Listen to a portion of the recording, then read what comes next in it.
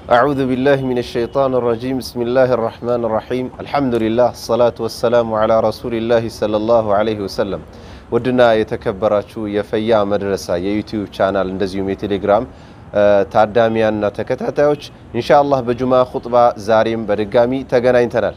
የዛሬው የኹጥባችን ርዕስ የሚሆነው ደግሞ የዕልም ወይም ደግሞ የእውቀት ደረጃ ወይም የእውቀትን ጥቅም ነው የምናየው ኢንሻአላህ። እውቀት ሰውን ሁል ጊዜም ከሰዎች መካከል በእድሜ እኩያዎቹ ካሉ የእድሜ እኩዮቹ መካከል አንዱን ከሌላኛው እንዲበልጡ በጥሩና በመልካም መልኩ ከሚታዩ መበላለጫ ነገሮች አንዱ እውቀት ነው። እውቀት ያለውና እውቀት የሌለው እኩል እንዳልሆነ ሁላ አላህ ስብሓነሁ ወተዓላ ራሱ በተከበረው ንግግሩ ሀል የስተዊ ለዚነ ያዕለሙነ ወለዚነ ላ ያዕለሙን ይለናል። እነዚያ እውቀት ያላቸውና እውቀት የሌላቸው እኩል ናቸውን ሲል አንጻራዊ በሆነ መልኩ አላህ ስብሓነሁ ወተዓላ እንድናገናዝበው ይነግረናል። ስለዚህ እውቀት ለሰው ልጆች አንዱ ከሌላኛው ከፍ የሚልበት የሚበላለጡበት መድረክና ትልቅ ነጥብ እንደሆነ ግልጽ ነው። እንደዚሁም ነቢያችን ዓለይሂ ሰላቱ ወሰላም ብቸኛው ዱንያ ላይ ተቸግረው ለሶስት ወር ያክል እሳት ሳያነዱ የኖሩ ከመሆናቸው ጋር ብቸኛው ዱንያ ላይ ትልቅን ችግር ያሳለፉት ሰው ነቢዩ ሰለላሁ ዐለይሂ ወሰለም ያ ረቢ አላህ ገንዘብን ስጠኝ፣ ያ ረቢ አላህ ይህን ጨምርልኝ ብለው እንዲጠይቁ ብቸኛው አላህ ያዘዛቸውና ምክር ብጤ ጣል ያደረገላቸው ነገር ቢኖር ምንድነው? እውቀት ነው።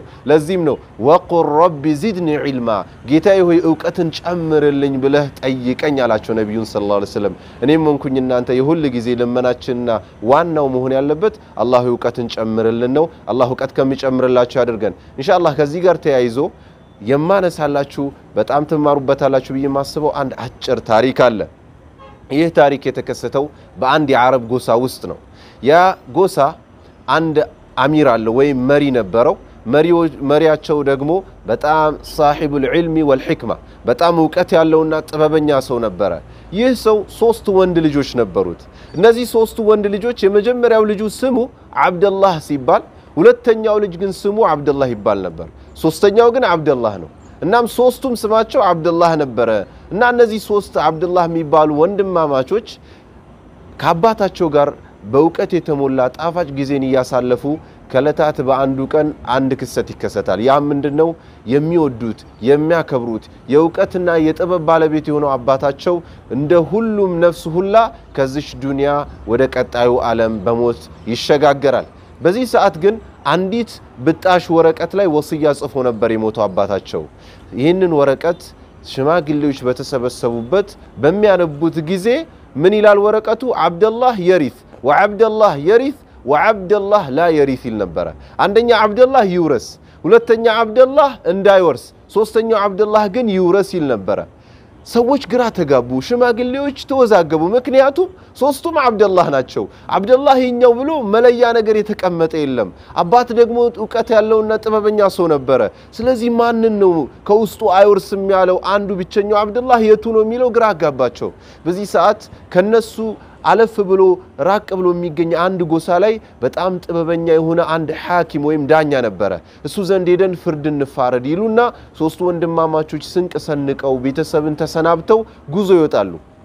ጉዞ እየሄዱ ሳለ እየሄዱ እለታት እንደዚሁ ምሽትን፣ ቀንን፣ ፀሐዩን፣ ጨረቃውን እያሉት መንገዱን እየገፉ የሆነ ቀን ላይ በመጓዝ ሳሉ አንድ የአረብ ዘላን አዕራቢ መጣባቸው መጣባቸውና ከዚያም እናንተ ሰዎች ሆይ አላቸው። አቤት አሉት። እባካችሁ ግመል ጠፍቶብኝ ነው፣ ግመሌን አይታችሁ ከሆነ እስቲ እንደው ያያችሁ እንደሆን አላቸው። በዚህ ሰዓት አንደኛው አብደላህ ምን ይለዋል? ግመልህ አንድ አይኑ እውር ነው አይደለም አለው። አዎ የት ነው ያየኸው አለው።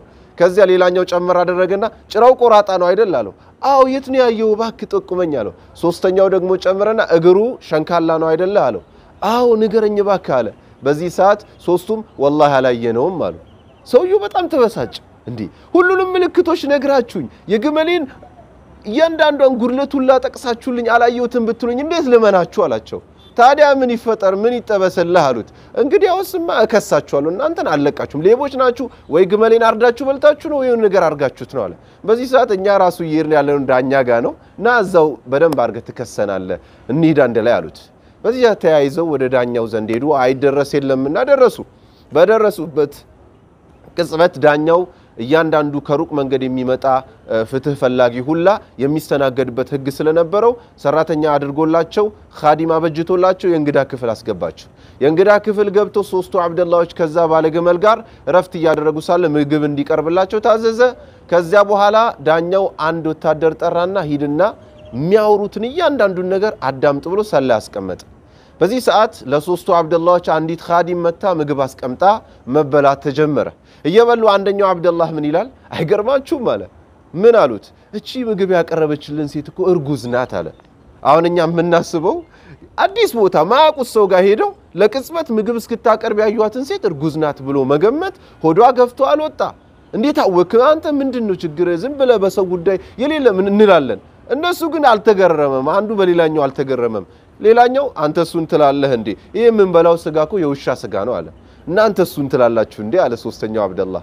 ይሄ እኛ እሱ ዘንድ ፍትህ ፍለጋ የመጣ ነው ዳኛ ራሱ በዚና የተወለደ ሰው ነው አለ። በዚህ ሰዓት ያ ወሬውን ያደምጥ የነበረው ሰላይ ሁሉን ነገር ሰምቶ ዳኛው ጋር ሄደ። ምን አሉ እስቲ ንገረኝ አለው። አረ ንጉሥ ሆይ በጣም የሚገርሙ ሰዎች ናቸው አለ።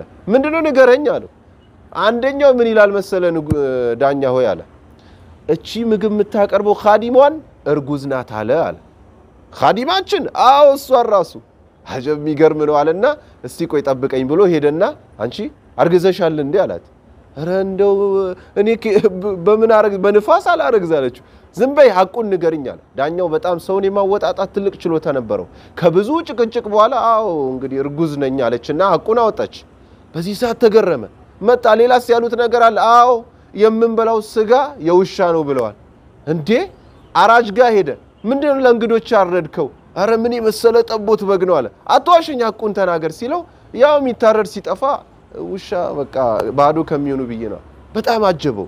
ከዚያ መጣን ሌላ ያሉት ነገር አለ አይ ምንም አላሉ።